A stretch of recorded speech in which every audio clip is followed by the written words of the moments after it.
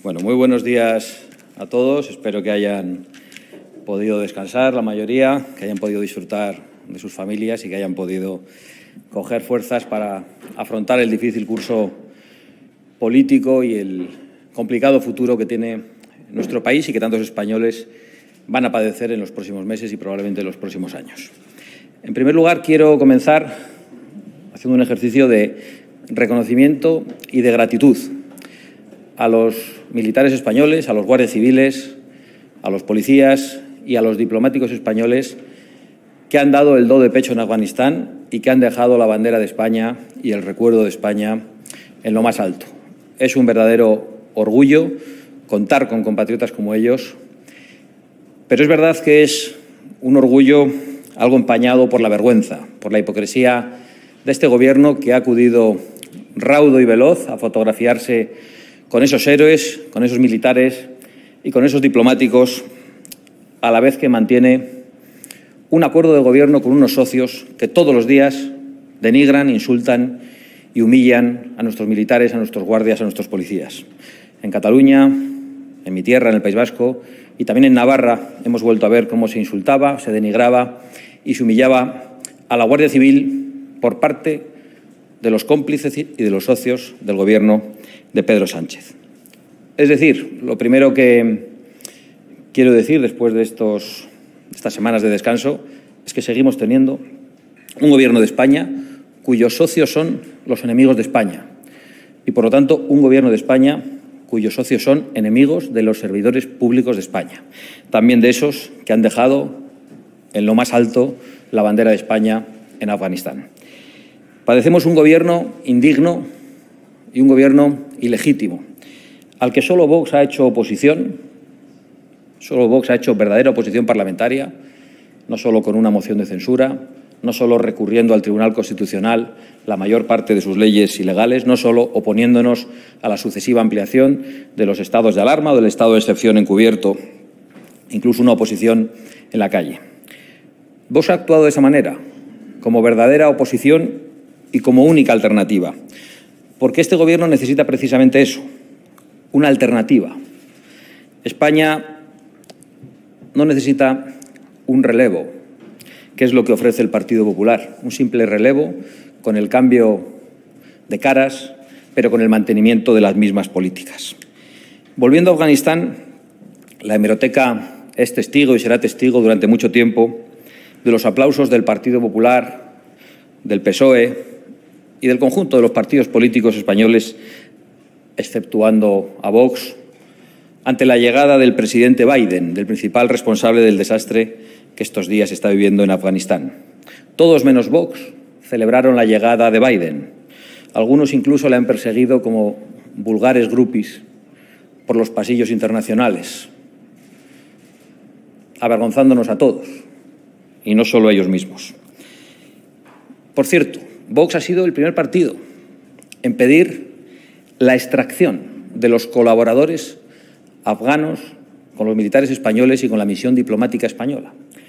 Y he de reiterar esto porque, a pesar de haberlo dicho en primer lugar, hemos padecido nuevamente la manipulación promovida por nuestros adversarios políticos y por una parte de los medios de comunicación, que han dicho que Vox se oponía a esa extracción y al acogimiento de esas personas que habían colaborado con nuestro ejército como traductores y con nuestra misión diplomática.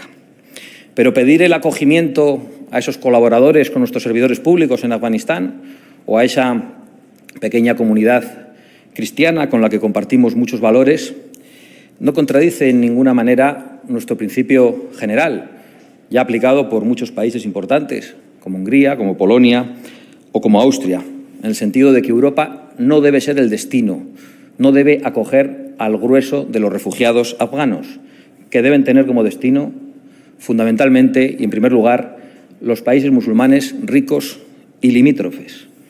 Algunos dicen que no les van a acoger, pero Europa no tiene ningún deber moral de acoger a todo Afganistán ni de acoger a toda África, porque eso nos conduce, sin ninguna duda, al suicidio en términos culturales, en términos de seguridad y en términos económicos. Ya tuvimos este debate en el año 2015 y vimos lo que ocurrió, que en mitad de las oleadas de supuestos refugiados llegaron los terroristas que asesinaron a ciudadanos europeos y que sembraron el terror en Europa.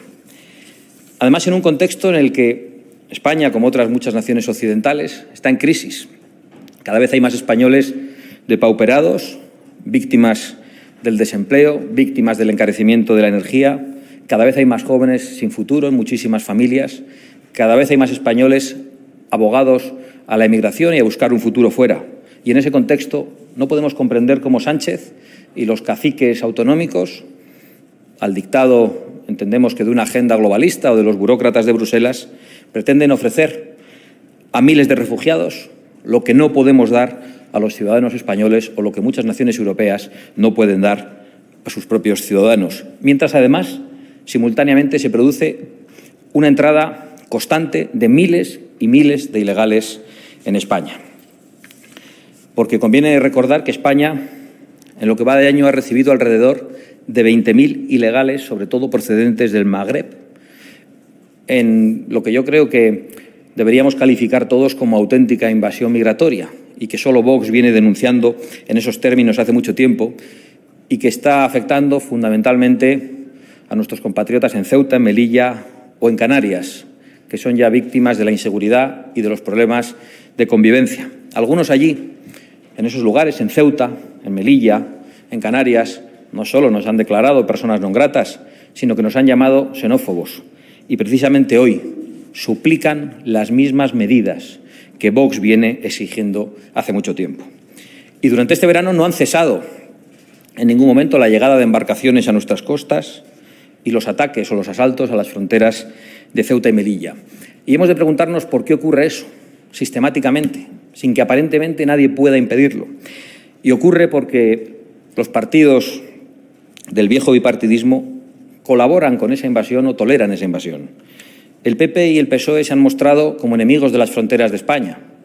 Y alguno dirá, ¿por qué mete al PP en ese mismo saco? Porque el señor Rajoy dijo que a él no le gustaban las fronteras, porque el señor Casado, ante un asalto a nuestras fronteras, lo primero que hizo fue ir a dar la bienvenida a los asaltantes en vez de apoyar a los guardias y a los policías que habían sido pateados por los asaltantes. El PP y el PSOE se han convertido en cómplices inculpables del efecto llamada a la inmigración masiva. El PP y el PSOE amparan a las ONGs que colaboran con las mafias o que persiguen a los guardias civiles que defienden nuestra frontera en el Tarajal. ONGs que son financiadas públicamente por instituciones gobernadas por el Partido Popular y por el Partido Socialista. Y el PP y el PSOE, en vez de la expulsión, lo que ofrece a esos ilegales son las ayudas que muchas veces no llegan a los ciudadanos españoles.